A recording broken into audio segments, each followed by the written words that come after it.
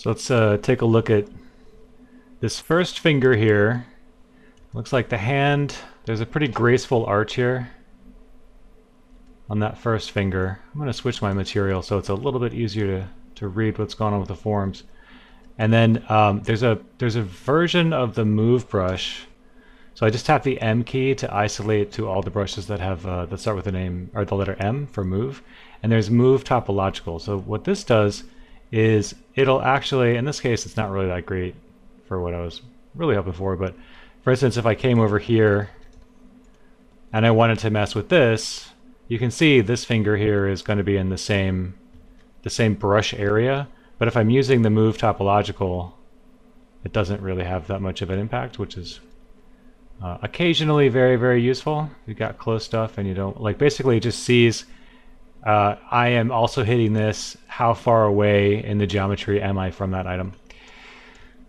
So, but you know, again, in this case, I don't actually know how useful it's going to be, but so just kind of like looking at this line here, have a little bit more of like a graceful slope down. I'm going to turn the other subtool on here, that plane.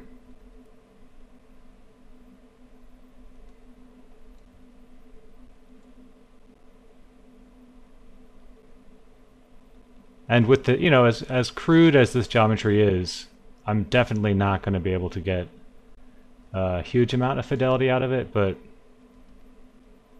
uh, you know, the more you can do at these early levels, the better off you'll be longer term.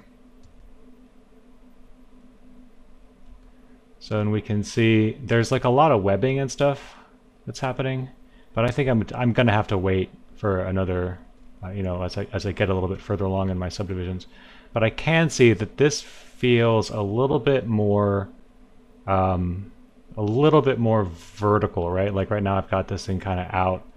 So I think I'm just going to give it like a tiny bit of a rotation just to get a little bit closer to what's going on there. And we can see through here there's a decent amount of curvature on this pinky here. So let's take a swing at that.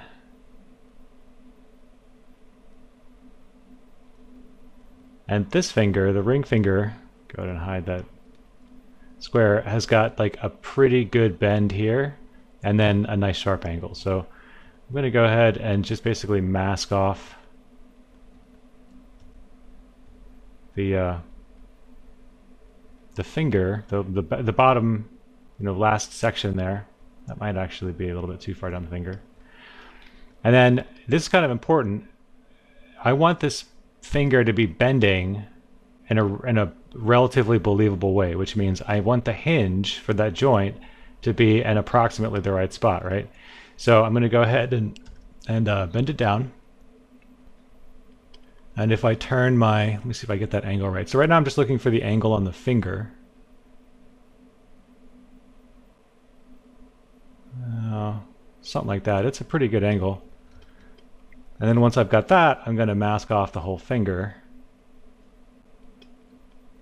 Make sure my my pivot is accurate. You can always just grab that uh, end of the, the far end of the transpose tool.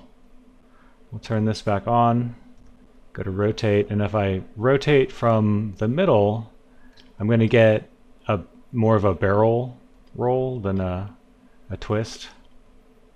Like we're gonna we're gonna go around rather than pivoting on one side or the other. Okay, so that looks pretty good. I'm gonna go and hide this again. We're gonna basically do the exact same thing over here. Although we can maybe do it in the opposite order. We'll start at the finger. Make sure this pivot kind of makes sense. You've got to actually click on the uh, on the circle there, otherwise it thinks you want to you know, rotate the geo. So you can see it's pivoting from the top there. I think I might get a little bit of a better result if I pivot from the middle or the bottom. Well, hard to say. I'm going to use the move tool because you can see it's a, well, it's a little bit higher. not that much. But it is kind of lined up with the top edge of the hand there, and that's I think that might be kind of what I'm looking at. So I'm actually going to grab this guy too. And crudely, you know, with the, the triangulation here is fighting me. So I'm just going to have to wait until I add some more subdivisions or Dynamesh it. And now we'll just go ahead and do that same thing.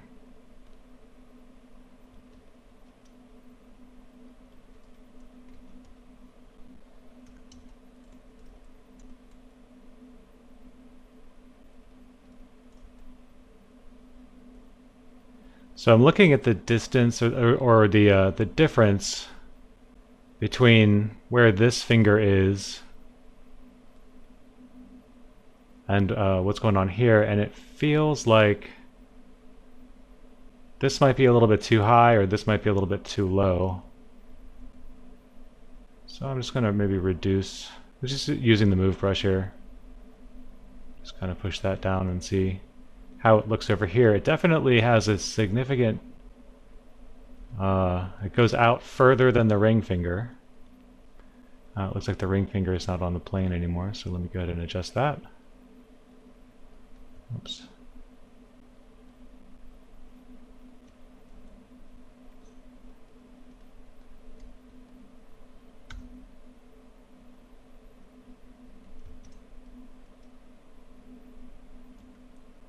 And the, uh, let's see, the pinky is a pretty, pretty straight line there. You can see looking straight on how much distance there needs to be here. So I'm going to be kind of like, these two views here are not necessarily, like they're about the same width, I think, but they're definitely not necessarily lined up on the same axis. As in like, if you were to look through this point, you would get to the exact opposite point on this hand.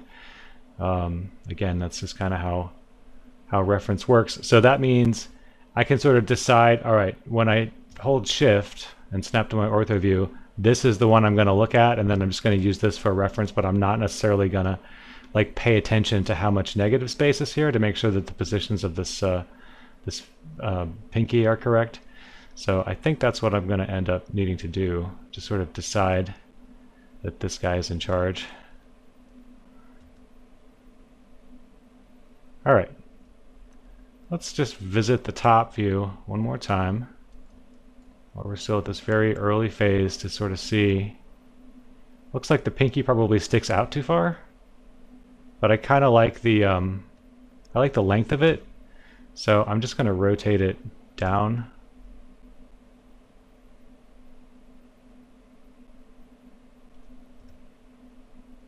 Something like that. And then I do think there needs to be more width this way still. Like you can see, first of all, you can see the distance here is, this is probably too far. And then this is a, like a nice, almost like part of a circle, right? Like it's just got a nice kind of curvature to it. Whereas this has this like S curve. So I know that this area here needs to come out a little bit as well. And then probably that means we'll go ahead and, whoops,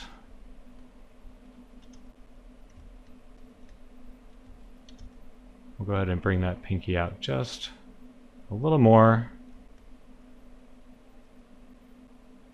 And there's a slight drop.